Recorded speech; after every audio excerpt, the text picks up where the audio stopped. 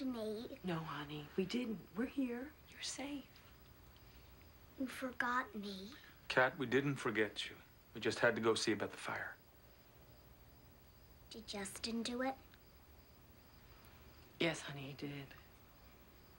Did he burn anybody? No, thank God. Okay, it's time for bed. Please, can I sleep here? Please, please, I'm scared. All right, just for tonight. Kat.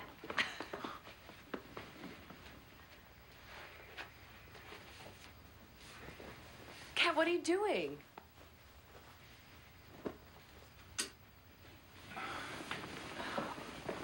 Just had to get Grizzly. Oh, good idea. Come on. Come on, sweetie. Oh. Can we get under there? There you go. All right. I love you, Kat. Night, Mommy. Night, Daddy. Good night, sweetie.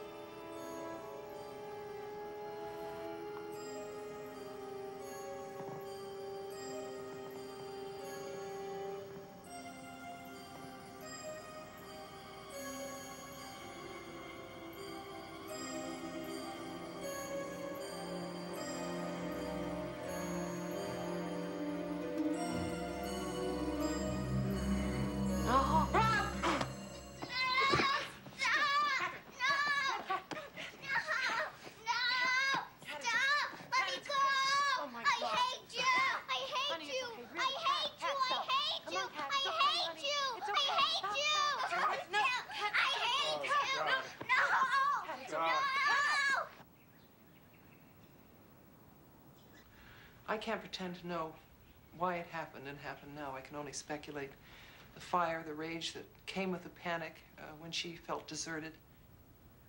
And of course, this work brings up old memories, you know. But we were talking last night, and she said she didn't want to do bad things. I'm sure she meant it. Will she ever change? Will she ever lead a normal life? Jill, if you're asking me for a guarantee, I can't give you one. This is not a quick fix. And don't trust anybody that tells you it is. It's terrifying, I know, but we have to teach this child how to access her pain and her rage so that she can understand it and then she can control it. Well, what if she can't learn? What if she ends up like Justin? Do I just sit and wait for her to try to kill Rob or, or Eric? Well, Justin's 11. We don't know enough yet to easily reach a child of that age. But there's hope for Catherine. Here or at home as you continue to work with her.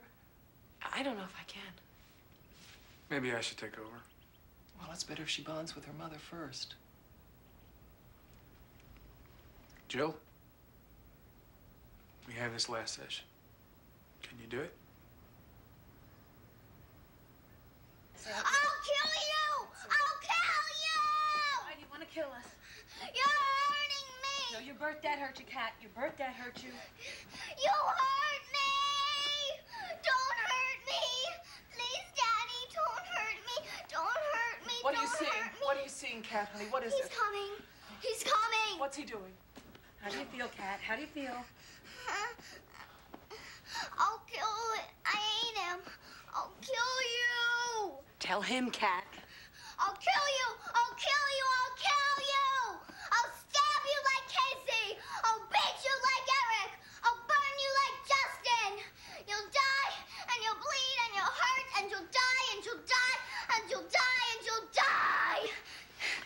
Die. How do you feel, Kat? hurt. Mommy, mommy, I hurt. Louder, louder. I hurt, I hurt. Hold me, mommy, mommy, hold me. Hold me, mommy, mommy, I hurt. Hold me. I got you. I got you, sir. I got you. I got you, sir. Let's go. Little girl. It's okay to hurt, it's okay to be mad. Look at me, Cat. Now, now listen. Your birth dad hurt baby Cat. But this is your daddy, and he loves you very much. Do you understand that? Your birth dad hurt baby Cat, and that's why she wants to hurt other people. Kill them. Yeah. Kill them. Do you know why? Do you want other people to hurt like you hurt? And be dead. Your birth dad hurt baby Cat, and that's why she wants to hurt and kill. But Cat isn't a baby. Not anymore. She's a big, strong, beautiful girl. Big, strong, beautiful Catherine can tell baby Cat to stop. Big Catherine can control baby Cat. And when she does, do you know something? That's when the hurting will start to go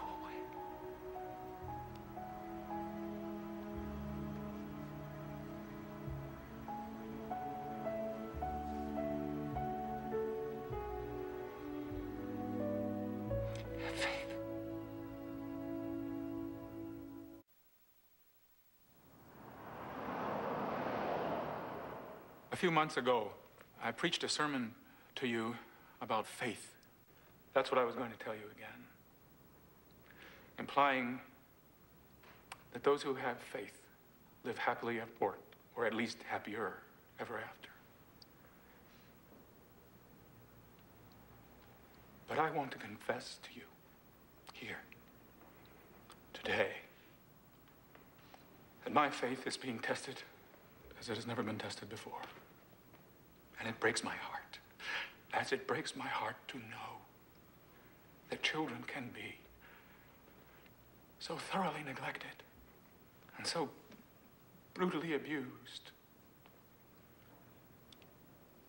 that they lose their capacity to love and to be loved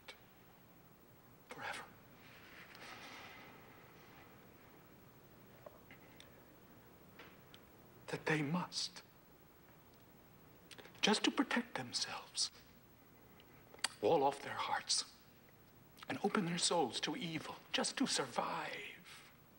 That they must abjure conscience, set aside empathy, remorse, compassion, all of the feelings and the emotions that bind us together as human beings and as children of God. So let us vow